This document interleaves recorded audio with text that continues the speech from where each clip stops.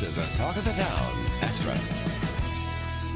I'm Tawanda Coleman. How many of you remember watching Schoolhouse Rock as a child? Well, now Schoolhouse Rock is a musical that's being performed at the Nashville Children's Theater.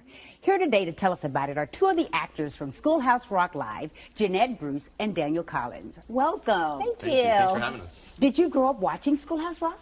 I definitely did, yes. I grew up watching them on Saturday mornings, and even in schools, they would play them for us at school, too. So.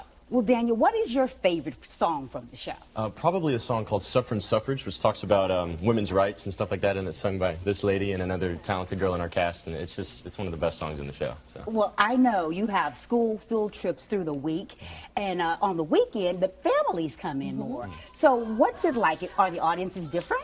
A lot of times they are. Uh, the school kids during the week are there with their teachers on the ends of the aisle and they're with their peers in the middle so they can go crazy a little bit. But when they come with mom and dad, they're a little bit more reserved. Mom and dad are right in between them. But with this show, the parents love the show so much that we really don't notice that big of a difference. The parents are rocking out right beside the kids. So.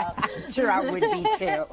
Daniel, what do you love most about doing shows for Nashville Children's Oh man, this is my uh, this is my third show there, and um, getting to just affect kids at a, such a young age and really uh, have an impact on their lives and how they get to learn and just you know really impacting them is one of the best things about it about this job for sure.